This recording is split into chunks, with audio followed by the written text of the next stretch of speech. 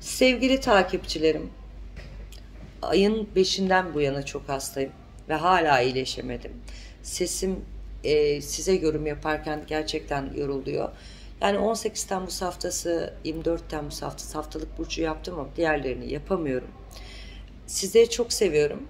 E, sağlığınıza, sıhhatinize, enerjinize, hayat kalitenize çok önem vermenizi istiyorum. Bağışıklık sisteminizi güçlendirebilirsiniz.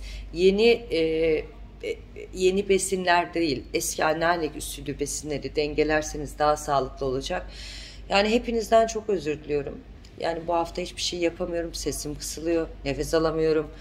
Yani sizler beni e, biliyorsunuz, kalbimi biliyorsunuz. Allah evinizde şifa, nazar boncukları gibi nazar değmeden bir hafta olsun. Ee, sizleri çok seviyoruz. Allah'a emanet olun. Gönül gözünüz, gönül kalbinizle her şey istediğiniz gibi gerçekleşsin. Hoşça kalın, mutlu kalın. Allah'a emanet olun.